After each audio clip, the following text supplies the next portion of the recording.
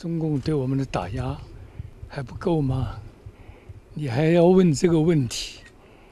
对这个叫做“三无”这个渔船，我都不懂，什么叫“三无”？还有没有国国籍？没有什么船号？那这就表示这个就没有一个正当的渔船有渔船的规定嘛？比如说你国籍的登记啦，地区的登记啦，至少渔船也有一个名字号码嘛。这些渔船是做正当的事情吗？是不是？我们好好一个人，假如走在路上，需要把脸蒙起来吗？